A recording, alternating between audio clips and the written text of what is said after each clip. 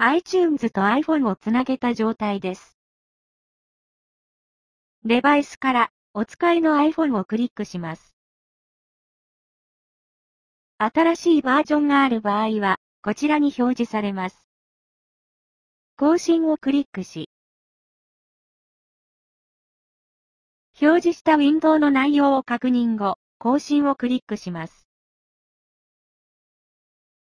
重要な情報を確認し、次へをクリックします。ソフトウェア使用許諾契約を確認し、よろしければ、同意をクリックします。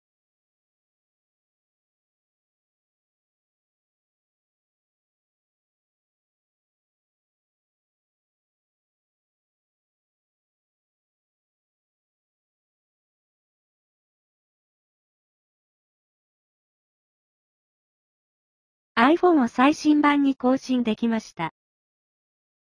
iPhone は再起動が終わるまで接続を切らないでください。OK をクリックします。iPhone のアップデートには状況によって時間がかかる場合があります。